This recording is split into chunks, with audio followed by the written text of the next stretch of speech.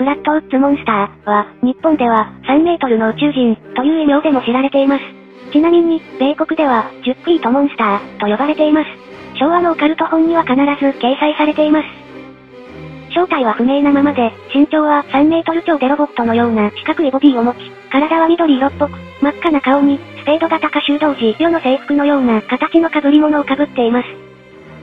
巨大な目は青みを帯びながらオレンジ色に輝き、シュー、という奇妙な音を立てて、鋭い鍵爪のある指をしています。また、腰から下は、ひだのある緑の衣服を着ていたと言われています。この怪物の出現事件により、ウエストバージニア州ブラックストン郡フラットウッズという人口数百人の田舎町は、全米から注目され数千人の見物客が押し寄せるパニックとなりました。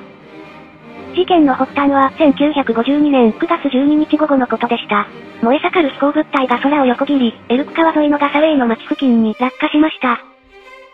学校の校庭で遊んでいたエジメイ、13とフレッドメイ、12の兄弟は、フィッシャー氏の所有地の丘の上にこの物体が着陸する様子を目撃、自分の母親に報告しました。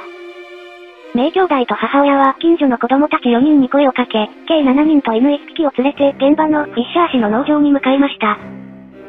近づくと、丘の頂上右手15メートルほどの場所に、直径約5メートル、高さ約1.8メートルの火の玉のような巨大な物体が燃えており、付近には刺激臭のある霧が立ち込めていました。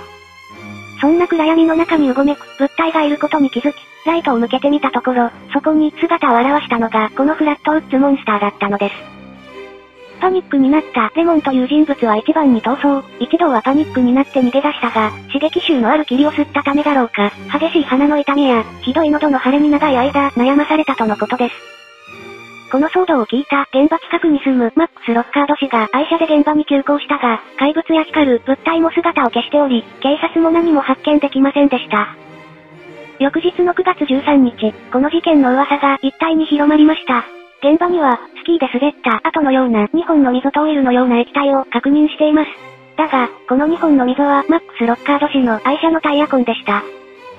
9月19日にはニューヨークのテレビショー、ウィザ・ピープルという番組に名兄弟の母親が出演しました。この際に描かれたイラストが3メートル宇宙人の有名なビジュアルを形作りました。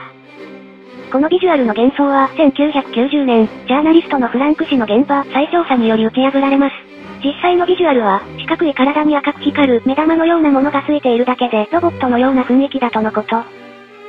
この事件に関しては、超常現象調査団体サイコップの多くの人が検証しています。まず少年たちが目撃した光る飛行物体だが、その日時、大型の流星が観測されており、隕石の落下の誤認説が唱えられています。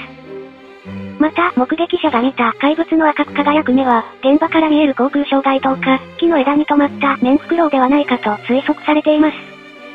目撃者が感じた異臭は草の匂いであり、体調が悪くなったのは集団ヒステリーや恐怖から来るストレスによるものだと言われています。